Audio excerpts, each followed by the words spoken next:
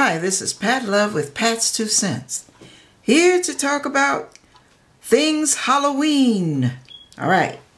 Now I know you're going to see a whole bunch of programs with with witches and warlocks and fairy tooth, fa- uh, whatever, uh, fairies and and um, uh, let's see, what are some of the other characters? Uh, you got warlocks, you've got, uh, oh, I can't think of all of them. You know, I'm getting old. What can I say?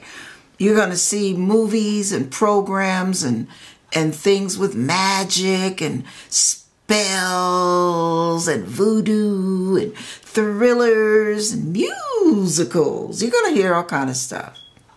Even cartoons. And it's going to look innocent. It's going to seem like just innocent fun. No harm, no foul, no problem. Oh, yeah. Oh, yeah.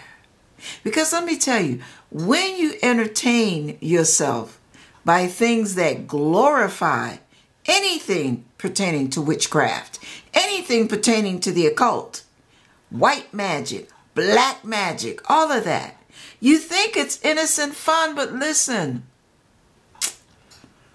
it's not innocent. It's demonic. I'm just trying to warn you. Don't let your kids play with anything. Don't pull out the Ouija board. That is a door to the demonic. If you wonder why some of your family members are having nightmares, experiencing severe levels of fear, why there's a sudden attitude change and somebody's temperament is volatile, rebellious, blatantly disrespectful, when maybe it was nowhere near that bad before the Ouija board came in or before you went and played with tarot cards or called psychic hotlines or watched certain movies that glorify witchcraft, spells, divination, hexes, curses. yeah. And it seems really, really, really intriguing. Some of you might even have people watching mass murderers who cut people up with chainsaws and, and go around just murdering and murdering and murdering on a murdering spree for the fun of it. And we watch it. Why? Because it's Halloween. Listen, you turn that, that channel.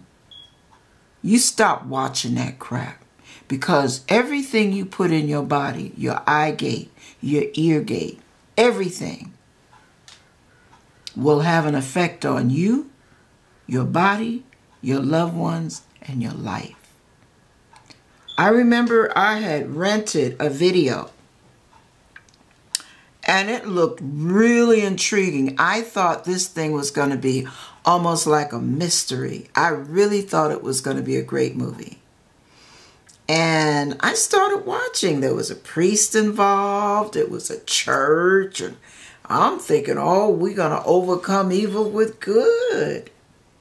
And I watched a while, but it had an eerie feeling to it. And I said, okay, let me watch a few more minutes. And if I don't like what I see, off it goes. I had rented this video. It was about maybe 7.30 at night. The store closed at 9. I had just gotten the video and whoop, there it goes. I'm watching it. First 20 minutes and all of a sudden I already had that eerie feeling. But when they showed the inside of that church, the priest walks in, and over his shoulder, the camera is zooming in and panning the wall of the church.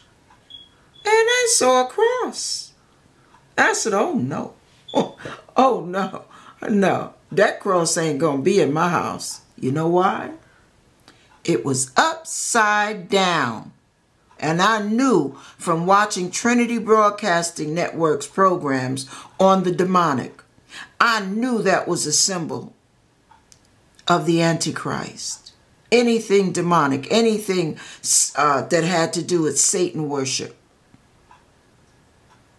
I took that thing out of my player real quick, got in my car, and drove that video back to the store and told them no switch it for something else i will not watch it and i told him that's demonic i could feel it just started getting more intense. And when i saw that cross upside down i knew that what i was feeling was right.